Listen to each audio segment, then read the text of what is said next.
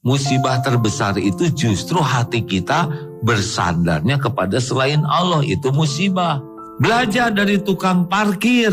Banyak mobil tidak sombong dia, tenang, jernih. Tidak ada ria sedikit pun. Ganti-ganti mobil nggak ngepek pak. Mobil bagus keluar, ganti mobil jelek. Nggak ada tuh kepedihan, minder, tidak ada. Diambil sampai habis, gak ada cerita dia menangis terseduh-seduh. Kenapa? Karena hanya titipan. Ini ahli tauhid. Semua cuma titipan. Tubuh ini juga titipan. Jangan takut jadi tua, hei. Kenapa jangan takut? Karena udah jadi, ya kan? Udah. Terima jadi tua. Tubuh ini keluar ubat, makin keriput. Nggak diterima juga tetap menua. Ini milik Allah tubuh ini.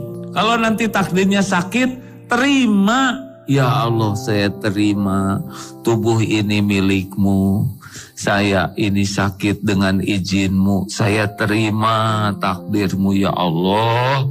Dan kalaupun saya ingin sembuh, hanya engkau yang kuasa menyembuhkan.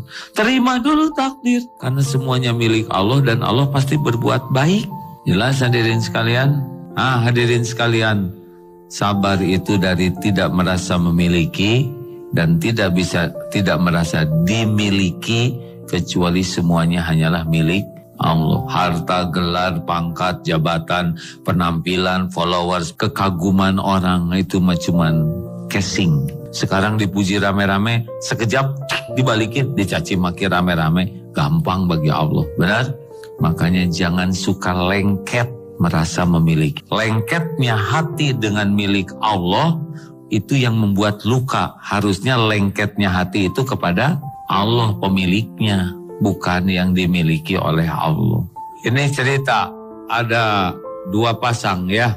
Dua-duanya udah siap menikah, udah nyewa gedung, sudah nyebar undangan, sudah nyewa catering. Kodarullah takdir Allah dua-duanya batal. Batal menikah. Kasusnya sama. Yang satu sakit sekali, menderita. Dia bentur-benturkan ke tembok, dia makan obat penenang. Ibu bapaknya tersinggung, marah sekali, membara di sini. Coba, kenapa beda begini? Kejadiannya sama. Ya, yang membedakan adalah lengketnya hati. Yang satu lengketnya kepada calonnya. Yang satu lengketnya kepada Allah yang menentukan jodohnya.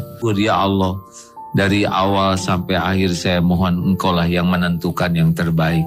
Engkau maha tahu segala yang tersembunyi. Engkau maha tahu apa yang akan terjadi. Seandainya baik mudahkan, kalau tidak baik batalkan. Batal, sujud syukur. Yang membedakan apa? Tauhidnya. Jelas hadirin sekalian? Jadi kalau bapak ibu menderita tuh karena kurang yakin ke Allah.